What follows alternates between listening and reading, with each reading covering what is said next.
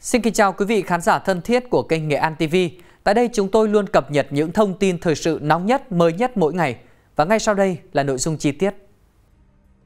Ngày 3 tháng 10, Công an tỉnh Long An cho biết đang phối hợp với các đơn vị nghiệp vụ Cục Cảnh sát Hình sự Bộ Công an lấy lời khai Nguyễn Thanh Sơn, 34 tuổi, quê Long An để điều tra về hành vi bắt cóc trẻ em.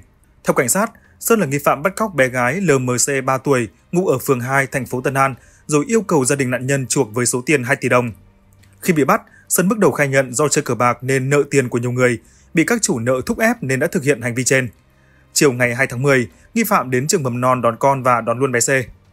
Sau khi gửi con về nhà nội, Sơn thuê ô tô đưa bé C bỏ chạy về hướng thành phố Hồ Chí Minh. Quá trình di chuyển, người này liên tục nhắn tin đe dọa, yêu cầu gia đình bé C chuyển 2 tỷ đồng tiền chuộc. Khi tới thành phố Hồ Chí Minh, Sơn gửi cháu bé tại một khách sạn Song Hoa, phường An Phú, thành phố Thủ Đức. Tiếp đó, người này đi xe khách Phương Trang để bỏ trốn lên tỉnh Lâm Đồng. Theo thông tin ban đầu, vụ bắt cóc xảy ra vào khoảng 15 giờ ngày 2 tháng 10. Nhận được thông tin, khoảng 16 giờ 30 phút cùng ngày, cha mẹ bé đã trình báo công an.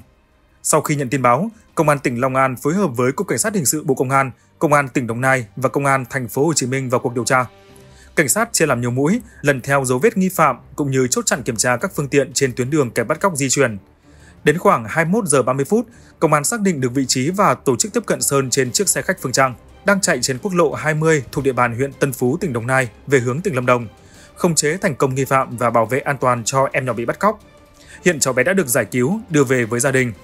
Bước đầu nghi phạm khai chỉ có ý định bắt cóc bé gái để đòi tiền chuộc, chứ không có ý định làm hại nạn nhân. Tuy nhiên cảnh sát đang làm rõ lời khai này cũng như điều tra xem Nguyễn Thanh Sơn có đồng phạm hay không.